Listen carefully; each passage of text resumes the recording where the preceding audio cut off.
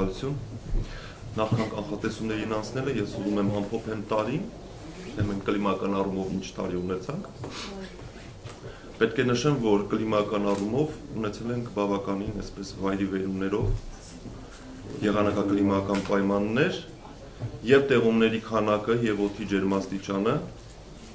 հազվադեպ ամիսներ են եղել, որ եղել են նորմալ սահմաններում։ Սովորաբար կամ եղել են նորմայից բարձր, կամ եղել են նորմայից ցածր։ Նախ ունեցել ենք 2016 թվականին անոմալ տաք ձմեռ, եթե կհիշեք հատկապես փետրվարը, երբ փետրվարին Արարատյան դաշտում օդի ջերմաստիճանը բարձրացավ մինչև +18-20 աստիճան եւ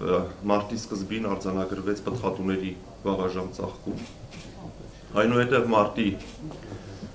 երրորդ տասնօրյակում, երկրորդ եւ երրորդ տասնօրյակում արկտիկական ցուրտօթային հոսանքների ներխուժման պայմանավորված նկատվեց օդի ջերմաշանի կտրուկ անկում եւ Արարատյան դաշտում եւ հանրապետության մյուս հովտային շրջաններում արձանագրվեցին ցրտահարություններ։ Այնուհետև դրան հաջորդեց շատ խոնավ ապրիլը եւ մայիսը։ Հետո շատ խոնավ հունիսը եւ հուլիսը եւ նորմայից ցածր ջերմային ֆոնը, հատկապես հունիսին եւ հուլիսին Հայաստանի ողջ տարածքում օդի ջերմաստիճանը նորմայից շատ ցածր է եղել, իսկ տեղումների քանակը կրկնապատիկ, երապատիկ շատ է եղել։ Արձանագրեցինք բավականին ինտենսիվ կարգտահարություններ,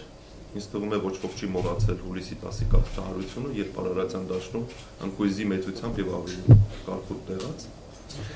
Այնուհետև դրան հաջորդեց շատ շոգ եւ 4 օգոստոսը, երբ մինչև կարելի ասել սեպտեմբերի 1-ը, եթե հիշում եք, օդի ջերմաստիճանը Արարատյան դաշտում եւ Երևանում +38-ից 39 աստիճանի սահմաններում էր, իսկ առանձին օրեր ունեցանք մինչև 40 աստիճան, որը կլիմական նորմայից բարձր էր մոտ 4-ից 5 աստիճանով։ Սեպտեմբերը,